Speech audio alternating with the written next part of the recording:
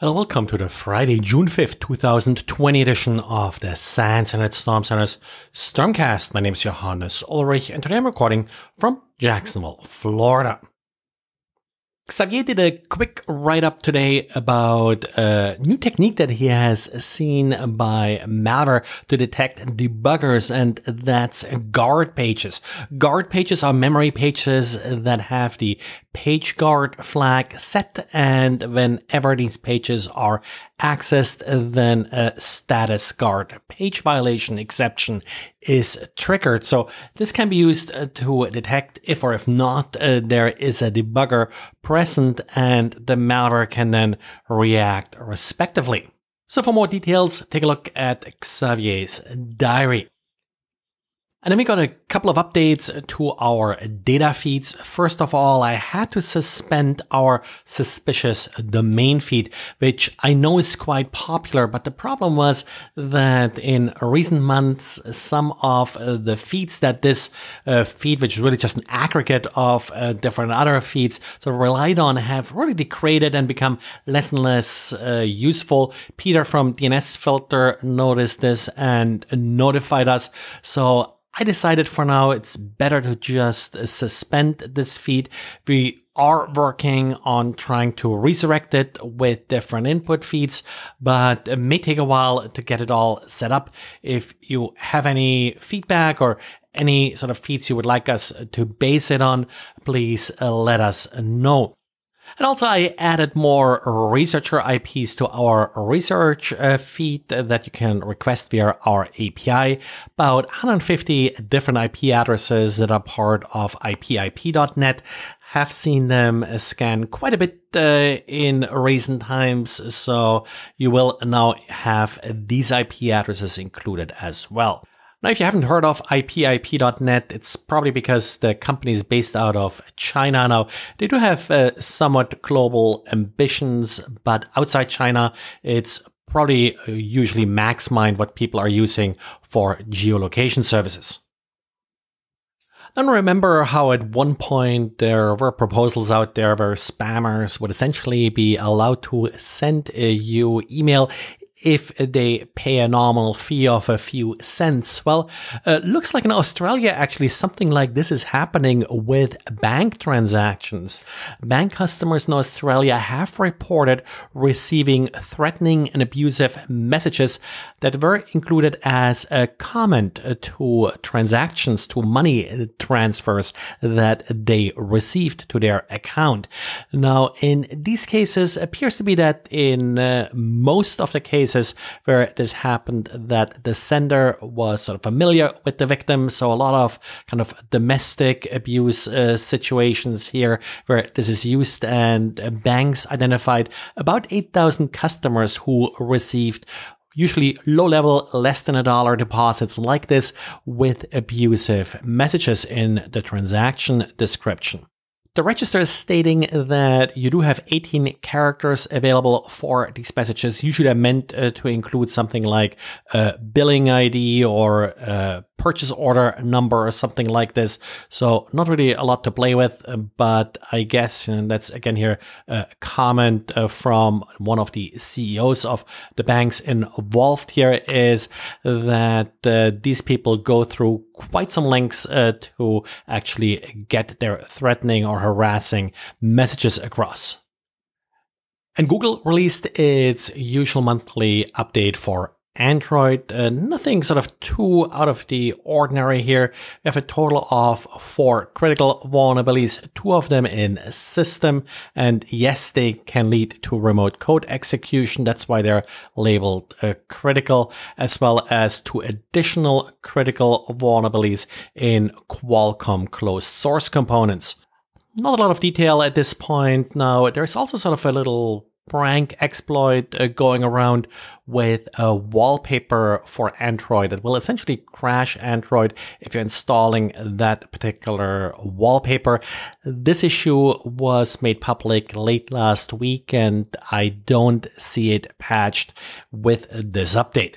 Now, exploitation is not very likely uh, because it's not just sufficient to look at the image. So if someone sends it to you as a message or so, it's not going to do any damage. You actually have to install as a wallpaper. The sample image that I've seen is sort of actually a pretty nice looking uh, cloud mountain image, which, well, maybe somewhat tempting uh, to install that as a wallpaper. Well, it's uh, Friday again, and today I have with me Janusz here, uh, who wrote a STI research paper about host-based intrusion detection in Unix. So could you introduce yourself, please?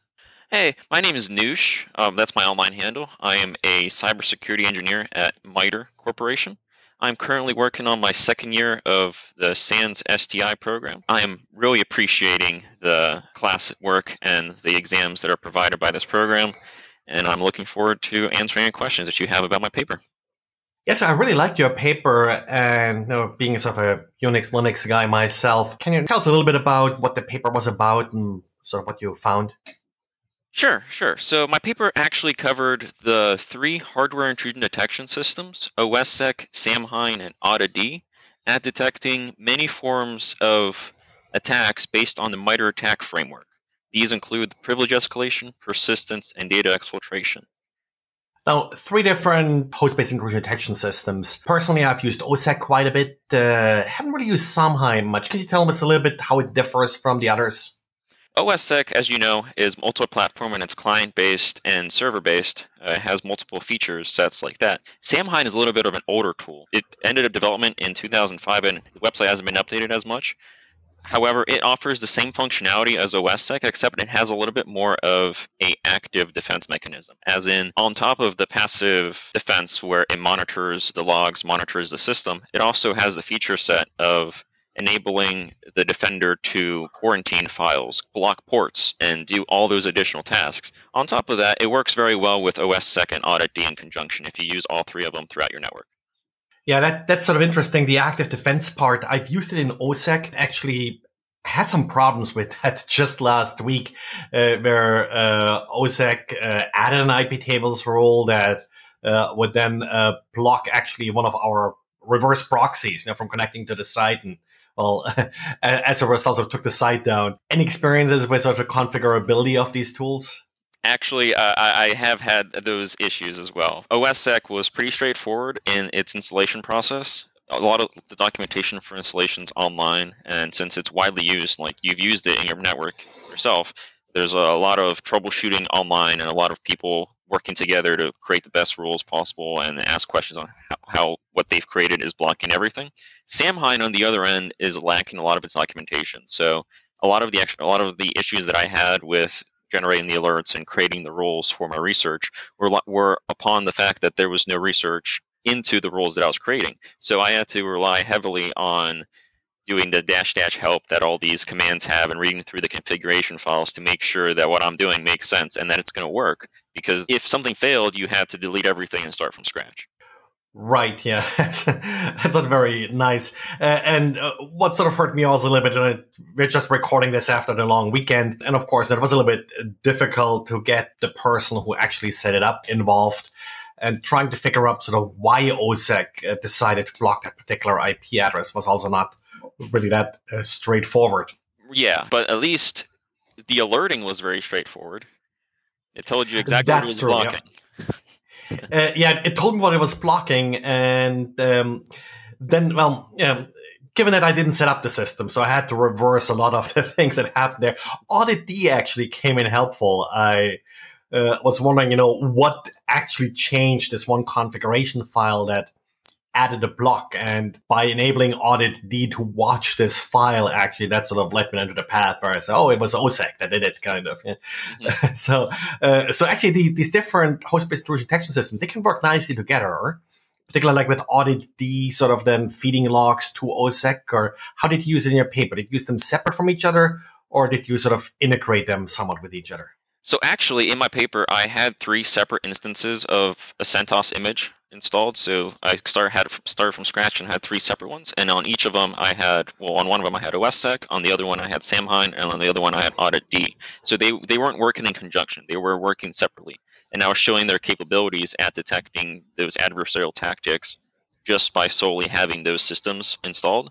However, I am advocating for having all of them work in conjunction. And actually, my paper focuses heavily on how one of how, how they all have pros and cons, but in conjunction, those cons are minimalized.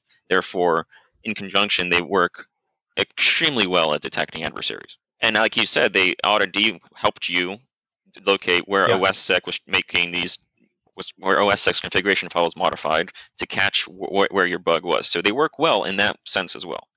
Yeah, and uh, these days I usually recommend auditd because it's sort of the default one. It's integrated with uh, Linux. Now, OSSEC, uh, you usually do get a standard package for it, but it's it sort of has more an add-on feeling than. It's sort of less baked into the the operating system any sort of blind spots that you saw with Audit D where some of the others really sort of filled in the gaps, or did it cover what you needed?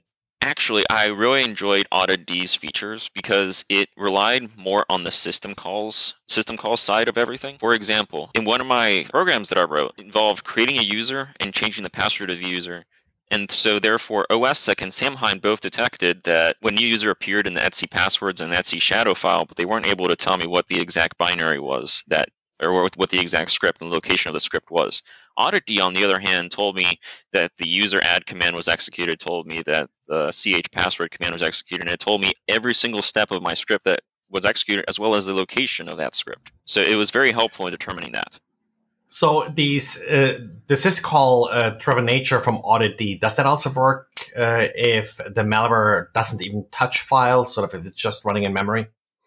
It does because even if it's running in memory, it's still using syscalls.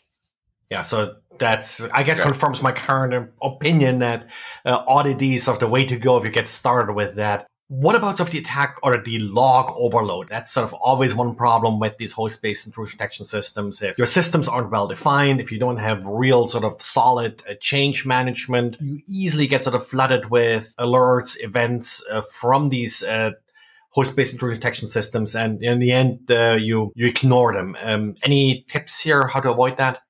From my research, I found that many times each of these alerts or each of these HIDs, host-based intrusion detection systems, not only generated the alert, but also had a little description or a type or a message that would notify the administrators what the actual modification or what the actual change was. And I think that feeding all of these logs to some kind of ELK solution or some kind of logs storage solution, and then parsing the logs for the messages you need. For example, add user. Tell me every single time a user was added. That's something that I'm only looking for, and I really don't care about this other stuff. So it all depends on what network you're looking for and how you store your logs and how you decide to parse them. So really tuning post processing of the logs, all of this, just like with any kind of alerting system, really makes it work then in the end. That is correct. Okay, well then, uh, thanks for joining me, and uh, I'll add a link uh, to the paper in the show notes. Thanks. Thank you. And well, that's it for today. Thanks for listening, and talk to you again on Monday. Bye.